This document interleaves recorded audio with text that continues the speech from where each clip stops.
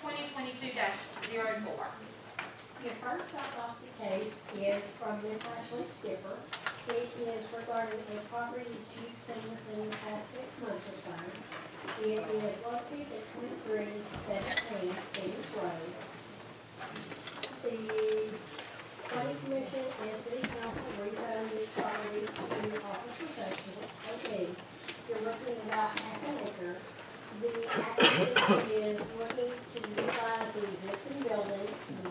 for a medical aesthetics and medical tattooing facility, um, with an academy to train folks to give them more experience to do such, provide such services within the community.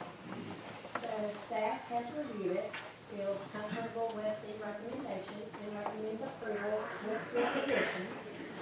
Number one, approval shall be granted for personal services shop at OP zoning in the form of a cosmetic medical tattoo, esthetician, esthetician, and other spa-related services. Approval shall also be granted for an aesthetics training academy with no more than five students at a time as an accessory use to the property. Two, the existing building may be expanded or reconstructed but shall not exceed three hundred square feet gross floor area. All right, three thousand. Thank you for catching that. Three, daily hours of operation for the facility shall be within the time frame of six AM to eight PM. And four, the conditional use approval shall expire after two years from the date of approval if no business licenses for the approved uses have been requested by the bank. Any questions? Thanks. Thank you, Tracy. All right, is there anyone who'd like to speak on behalf of this request, If you come forward?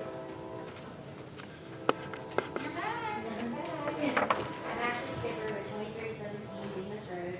I'm the owner of it, I was here last, or last February, for it to get rezoned, and I'm just got to basically allow to, have an academy there for advanced training, to train other estheticians and cosmetologists in our field, because there is nowhere in Valdosta right now to get further education once you graduate from Wiregrass or the Tipton College or somewhere like that, or Moultrie Rivers. And,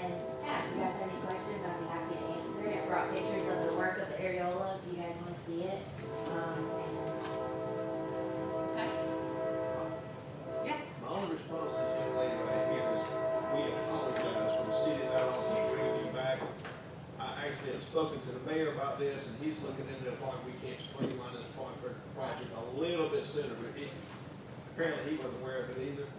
I will apologize that they made you come back again. well, that means a lot to me. Thank you so much.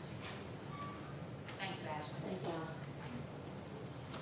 All right, is there anyone else um, who wishes to speak on behalf of this request? Is there anyone wishing to speak against this request? All right, commissioners, any discussion? How about a motion? Madam Chair, Commissioner Wiles? on behalf of CU twenty twenty-two 4 conditional use permit for personal service shop and aesthetics academy and office professional zoning, I would like to make a rec- a motion that we recommend approval. A second. All right, we have a motion to approve, it's been seconded, any discussion? All those in favor of the motion to approve, please raise your right hand. All those against, and that motion carries. Good luck.